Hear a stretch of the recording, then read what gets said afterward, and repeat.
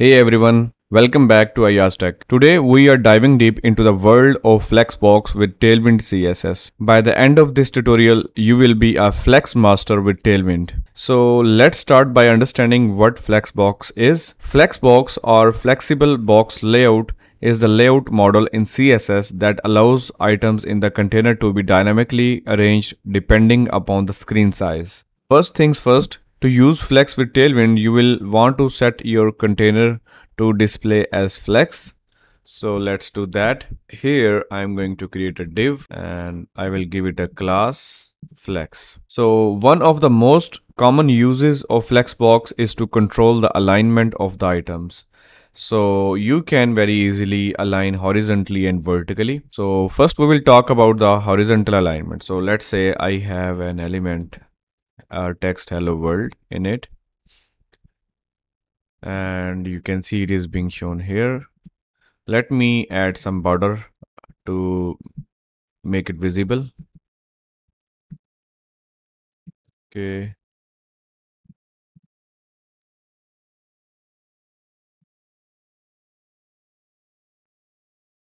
I will increase its width.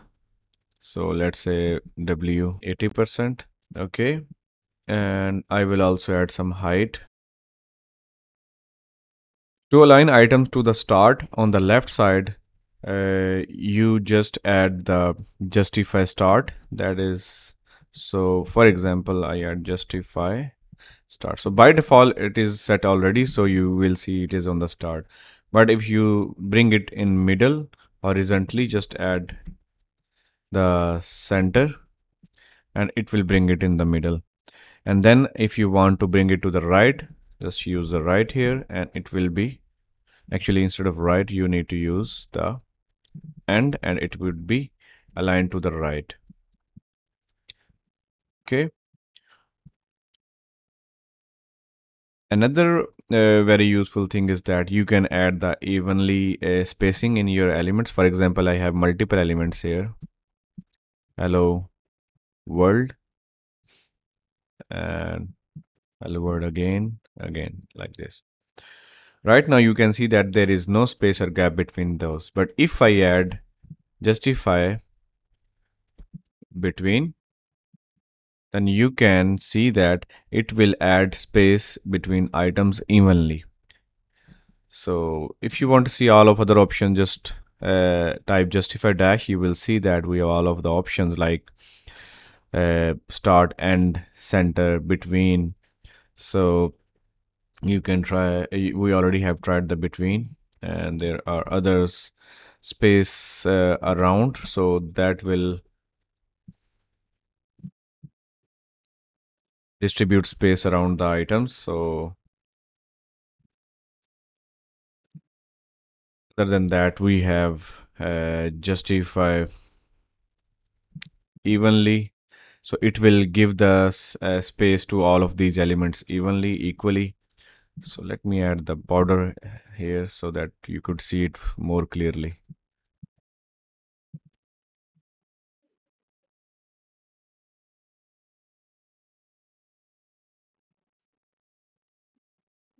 Okay. So other than that we have stretch. We have other things. So after that we will discuss the vertical alignment. So in the to add the vertical alignment you can use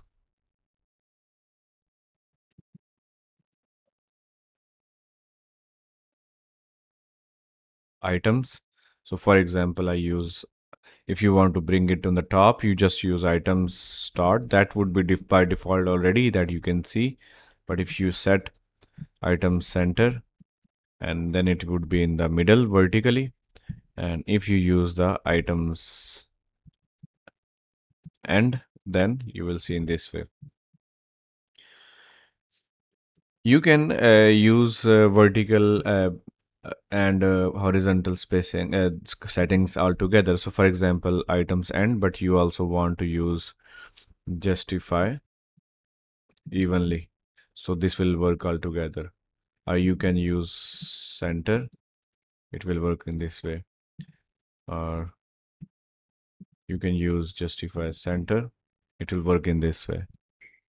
Or you can use between then this is how it will look so in this way you can create a lot of variations of the alignments after that we will discuss about the direction and wrapping so Flexbox gives us the flexibility to change the direction of the items and decide how the how they wrap when there is not enough space. So for example, first I will talk about the direction, uh, then we will talk about the wrapping. So for example, right now you can see these are being shown uh, in this direction. This is the horizontal direction. We can also call it flex row that is applied by default. But if you want to add, if you want to display it vertically, then use flex col and you will see that in this vertical direction. Now we will uh, implement the wrapping feature. So for example, uh, let's say uh, I will for now remove it. So let's say we have these boxes. I will add a width of 400 pixel each. And okay if you add few more then there would not be enough space. And if you keep adding them then it will not give everyone 400 pixel. It will keep reducing the width uh, equally for all of these boxes. Like if you hover on it you can see that the uh, every box is taking 230 233 pixel point 48 okay? So it is not taking the width that i wanted to give it. So to fix that problem you can go to the parent and use flex wrap and oops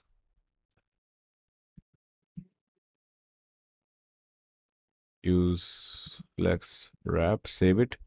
Okay. Now you can see that any other element that is more than the available space it will use the flex wrap and show them below automatically. And if you don't want any wrap and you want literally want to uh, set that you don't want any wrap by default it is set to the no wrap but if you set you can also set it manually no wrap so in the, that way, it will never add a wrapping. Further, another very interesting feature is that look at this, we have wrap. Let me add some alphabets or something. One, two, three, four, five, six, and 7 okay. Now if you add flap uh, flex wrap reverse select it. Then you will see that it will wrap in the reverse reverse direction. It will show the wrapped elements first and then other elements later. So you can see it So another very interesting feature that I will show you is that right now you can see one, two, three, four in the sequence. But if you use flex reverse, row reverse, then it will reverse the row. It will show the seven first, six later, and so on. Other than that, we also have the feature about the flex, grow, shrink, and basis. So you can easily grow the components or elements so for example, uh, I will remove all of the other elements and I will remove the width from the two. Right now, let me remove the reverse as well. Right now, you can see that one and two, one has a fixed width, but two has no width, but I want to take the two element uh, to consume the available space automatically. To make that possible, you can simply add flex grow and it will automatically take all of the remain uh, available space by itself. And if you don't want to allow any item to grow you can simply literally add that flex grow to zero. By default this is already set. But if you really need to literally set that you can do that as well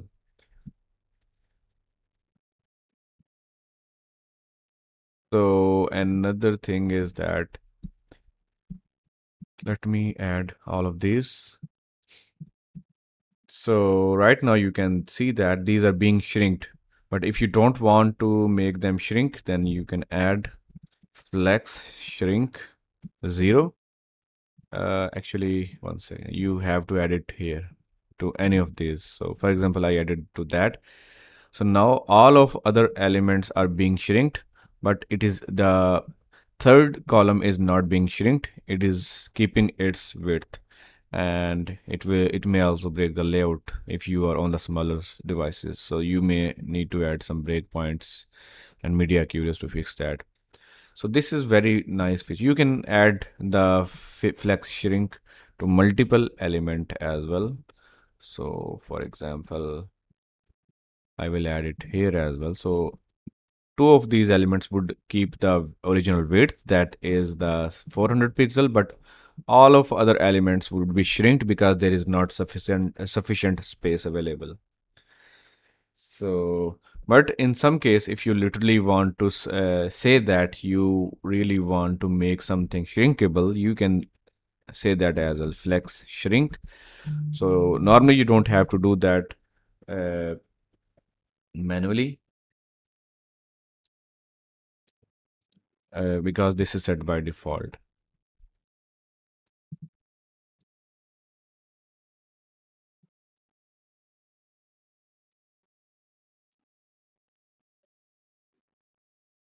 You can also set the flex basis. So for example, uh, let's see, right now, all of these elements are being shrinked, but to one of uh, those elements, so for example, here you add flex basis and here you can add 800 pixels. So let's say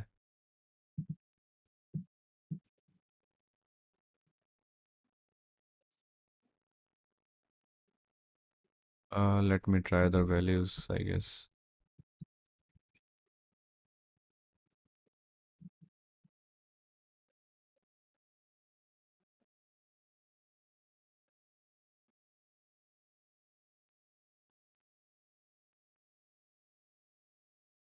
I think flex basis is not available. Anyways, now we will talk about some real world use cases. So so let's apply what we have learned in some real world scenarios. And first of all, we will be centering an item.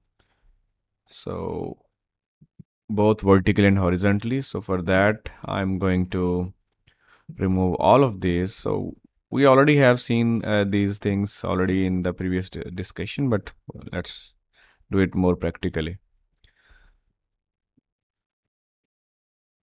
So here I would add centered content and if you add item center it is already in the center and if you add justify center then it would be in the middle in this way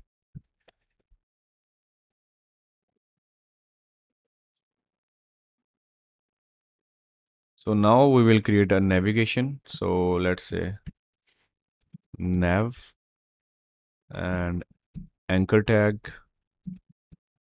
home about contact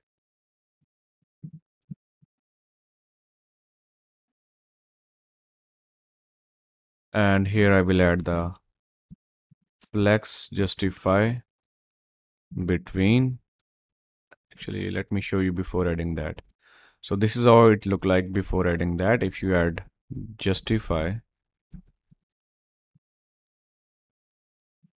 between it will add the equal space between everything but the the width is very small. That's why you cannot uh, feel that difference. So for that I will add W 500 pixels. And now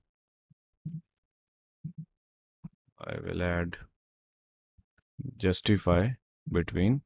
And now you can see the evenly space is available there. Now you can add some padding as well if you want to. So after that we will uh, look at the responsive grid layout. So you can make very responsive grid as well. So for that let me remove it for now. And here I will add a div. And then in the div I will add box 1 let me add the classes. So very first class that I would like to add is flex flex wrap. Okay. And then I would like to add class w1 slash 2 and then in the medium screen I want this width.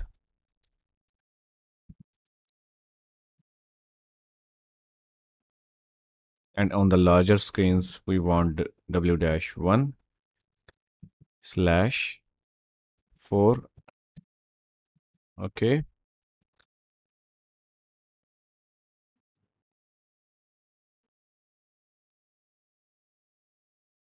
now uh, let's save it and let's uh, add multiple. Actually before that let me add a width here.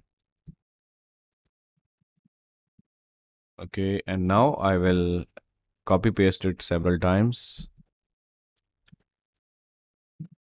Two three four.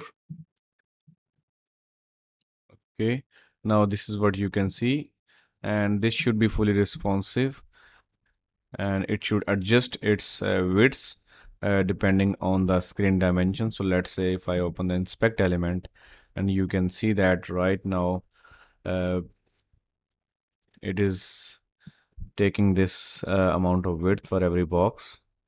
And if you reduce the screen size at this point you can see now every element is taking the 33% instead of 25 and if you reduce it further then now every element is taking 50% of width. So this is how you can make it very responsive very easily by using the flex box. That's it for today's tutorial on flexbox with tailwind css i hope this video made it easy for you to grasp the flex concept within Tailwind. If you found it helpful then don't forget to give this video a thumbs up and subscribe for more tutorials.